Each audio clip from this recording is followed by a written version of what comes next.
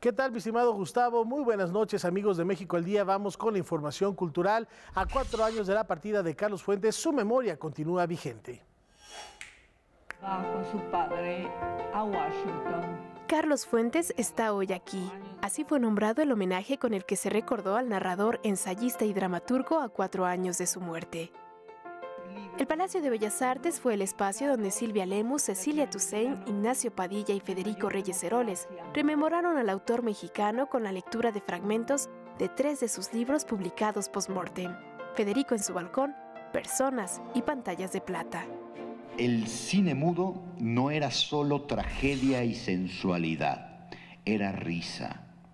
Y esa risa políticamente se asocia a la anarquía, la anarquía como la alegoría de la vida pública y del cine. El libro Pantallas de Plata es el último libro todavía casi publicado en vida de don Carlos Fuentes eh, y es un libro de ensayos sobre cine.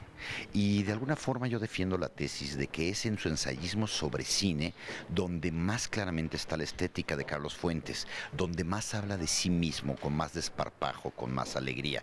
Hay libros que anteceden, que tienen algunos ensayos. El libro Personas tiene, por ejemplo, un ensayo maravilloso sobre el gran maestro de Carlos Fuentes, que no fue un escritor, sino un cineasta llamado Luis Buñuel.